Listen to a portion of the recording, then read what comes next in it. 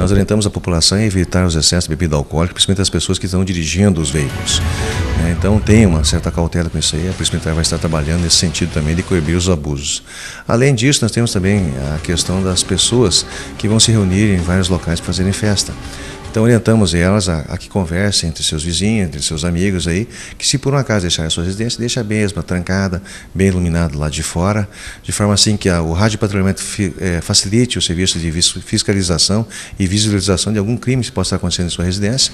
Além do que também é, é, possa a própria comunidade de uma forma segura um ajudar o outro e onde visualizando algum problema, que há pessoas suspeitas, ligue para então para o 190, que é o nosso telefone de emergência, e aqueles casos relacionados ao tráfico de drogas, ligue para o 181, o Disque Denúncia. Nós temos um problema sério de tráfico de drogas, que inclusive novas drogas estão chegando na nossa região, né, aí são drogas sintéticas, temos observado esse aumento muito grande, e infelizmente né, a questão de adolescentes e até mesmo aí, crianças utilizando drogas e álcool, que é uma, infelizmente é um, é um mal social, mas está aumentando muito entre a nossa juventude. E nessa época aí de festividades tende a aumentar com questão de som alto. Qual que é a recomendação que vocês deixam? É, nós é, dizemos à população que tenha o cuidado devido aí, que ele pode estar festando, fazendo sua festa tranquilamente lá, ouvindo seu, a sua música, seu som lá, sem problema nenhum, desde que não atrapalhe o próximo, ou seja, tudo tem limite.